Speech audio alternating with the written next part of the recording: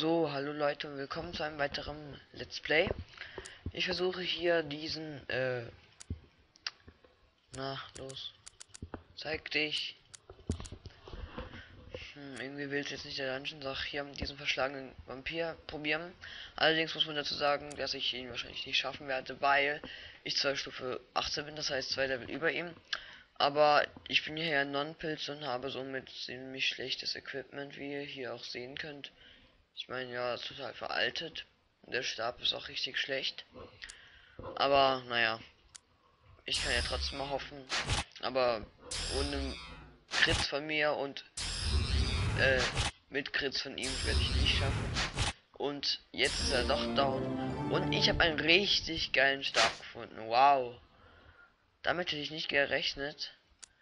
Den werde ich natürlich benutzen. Mache gleich mal äh, um einiges mehr Schaden. Und kann den natürlich dann sofort verkaufen. Halt ich den Lack. Jetzt kann ich auch gleich mal einen Arena-Kampf zeigen gegen den da jetzt nicht unbedingt, nee.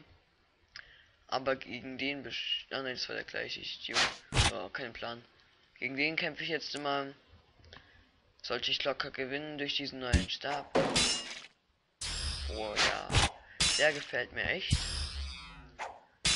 Und ja, da hatte ich mal richtig bei dem Dungeon. Und bekomme auch gleich mal richtig viel Ehre wahrscheinlich auch dazu auf dem Griechenland-Server. Ja, ich mache jetzt noch meine restliche alle fertig.